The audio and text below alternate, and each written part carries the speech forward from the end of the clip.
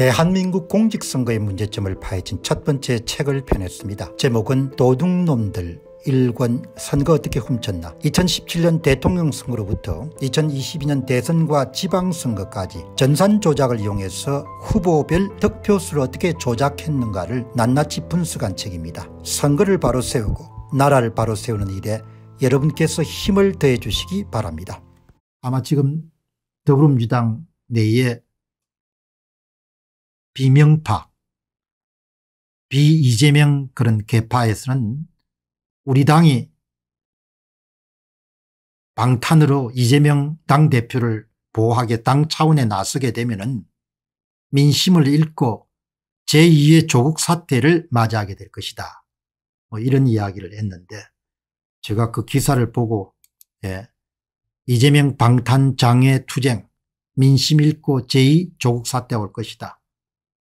이걸 여러분 보고 저는 무슨 생각이 드는 거 아니야. 아니 뭐 당신들 걱정할 거 있나. 당신들 정상 조작 잘하잖아. 응? 당신들 전산 조작이 주특기잖아. 전산 프로그램에다가 조작값 5% 10% 15% 20% 집어넣어 가지고 순간이 발표 후보별 득표수를 다 만들어서 대통령도 훔치고 2018년 지방선거에서 교육감부터 시작해 가지고 시장 군수 구청장 서울시장 다 훔쳤고 경상북도 지사 대구광역시장 빼고 다 훔치는 데 성공했잖아. 심지어는 당신들이 어떻게 했냐 서울시 강력의회 의원도 어? 단몇 명 빼고 다 해가지고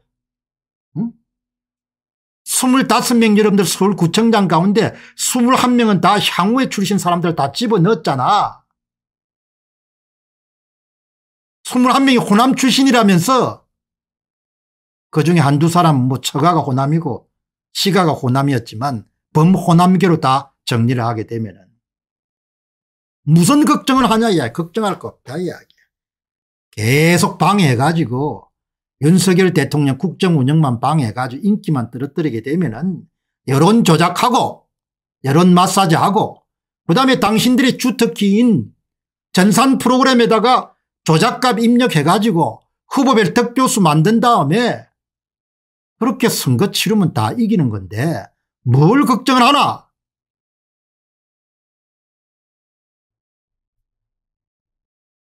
민심이 읽고 뭐 이렇게 나발이고 필요가 없지 않습니까 민심은 조작하면 되는 거고.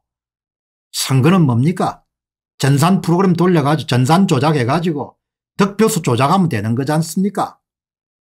앞에서 보시다시피 윤석열 대통령이 등장하고 난 다음에 한 달 만에 이름 치러졌던 6일 지방선거에서 전남도지사 전북도지사 광주광역시 시장까지 조작을 하지 않습니까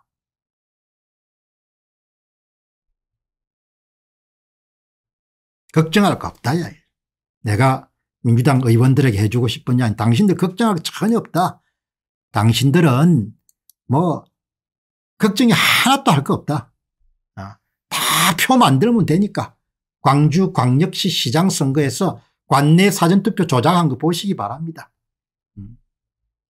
뭐 항상 천하무적입니다. 민주당 후보들은 항상 관내 사전투표 득표율 빼기 당일 투표 득표는 항상 플러스니까 예. 어디서 선거를 하든지 간에 예. 당일 투표 득표율보다 현저하게 높거나 적당히 높거나 조금 높거나 사전투표 득표율은 항상 높으니까 국민의 힘은 항상 패배하니까 당일 투표 득표율보다 사전투표 득표 항상 작게 만드는 신출기묘한 그런 수법과 능력을 민주당은 갖고 있는 거죠. 왜? 다 선거를 조작하니까. 뭘 걱정을 할 게 있냐 야기죠. 민심 잃고 제2 조국 사태 올거 전혀 걱정할 거 없다. 당신들은 언제 어디서든지 조작을 할 수 있으니까.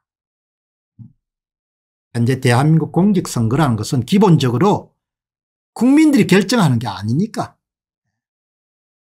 바보 천치 같은 인간들이 그런 문제에 침묵하고 그러니까 이런 일을 저지른 놈들도 문제지만 이걸 은폐하고 예, 침묵하는 애들도 진짜 문제인 거죠.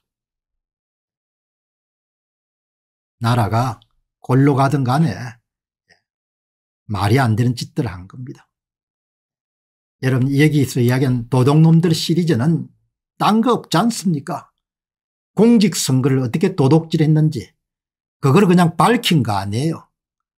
예? 조갑제가 뭡니까 떠드는 것처럼 그런 식이 아니고 숫자 예? 선관위 발표 후보별 득표수를 분석해 가지고 몇 표를 도둑질했는지 다 밝힌 거 아닙니까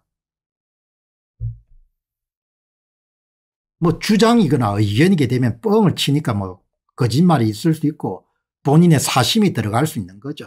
그러나 이건 숫자를 가지고 밝힌 거 아닙니까 너가 어? 260만 표 차이 나는 후보를 24만 7077표로 줄여놨지 그걸 밝혀준 거 아닙니까 대한민국 공직선거의 문제점을 파헤친 첫 번째 책을 펴냈습니다. 제목은 도둑놈들 1권 선거 어떻게 훔쳤나 2017년 대통령 선거로부터 2022년 대선과 지방선거까지 전산 조작을 이용해서 후보별 득표수를 어떻게 조작했는가를 낱낱이 분석한 책입니다. 선거를 바로 세우고 나라를 바로 세우는 일에 여러분께서 힘을 더해 주시기 바랍니다.